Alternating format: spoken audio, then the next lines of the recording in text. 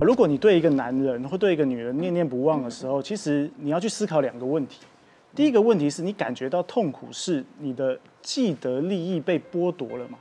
举例来说，比方说，呃，我有个女朋友，那我跟她交往，她可以帮我把我生活打理好，或者是我们有性生活，但她离开了，这些都没了。所以我因为失去了这些而感到痛苦嘛？还是来自于她离开我，我对我自己的存在是感到否定？我觉得这个要去懂得去厘清。就像我的前任跟我交往了四年，那呃，我们也妈妈也见过了，也可能要结婚了，也有这种打算。可是有一次跟他香港回来之后，他就跟我说他要跟我分手啊，对他跟我分手，嗯，那我就问他，我说呃，你你你为什么要分手呢？他说，呃，他点出了我人生很多的盲点，比方说像。我以前的家庭就是大男人，我不会跟女孩子解释些什么。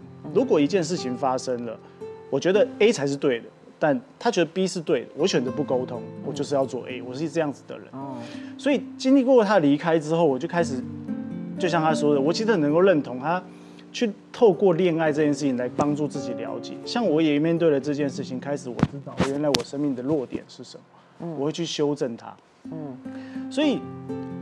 我到底怎么走出来的？一件事情很简单，你走出来且成功结婚了。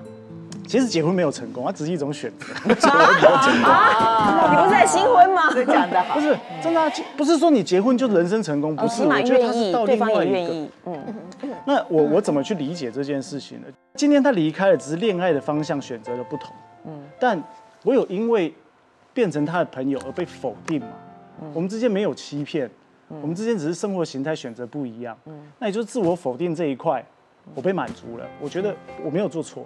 那我所失去的，比方说生呃性生活或者是生活的安定、未来的稳定，那很简单啊，那我再重新出发去寻找不就好？哦，所以当你把事情去厘清之后，事情就所以你多久走出来？我大概三天我就有点想哦，四年三天就出来，然后然后我七天。